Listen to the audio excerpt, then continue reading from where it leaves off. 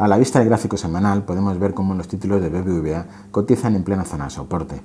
Y es que si unimos los consecutivos máximos crecientes de 2016 y principios de 2017, obtenemos una potencial zona de soporte que pasa justo por los mínimos de la semana pasada, las inmediaciones de los 6,50 euros.